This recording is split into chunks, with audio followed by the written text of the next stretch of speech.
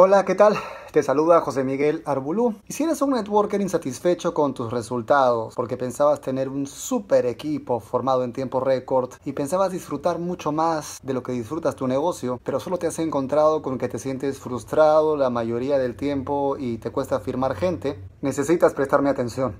Quieres manejar tu tiempo, yo sé, quieres ganar un ingreso residual que te dé tranquilidad y que te dé el estilo de vida que sueñas, ¿no es cierto? Y ves que eso se desvanece cada vez más. Pero te tengo buenas noticias. Para disfrutar de tu negocio, firmar gente y formar un equipo, no necesitas sufrir ni frustrarte. Necesitas tres cosas. Número uno, saber identificar un porqué claro que te motive y no que te pese. Número dos, saber identificar el perfil correcto de persona que de verdad está buscando algo. Y número tres, saber identificar las ventajas reales y concretas de tu negocio y de generar un ingreso residual a través de él en comparación con otras opciones.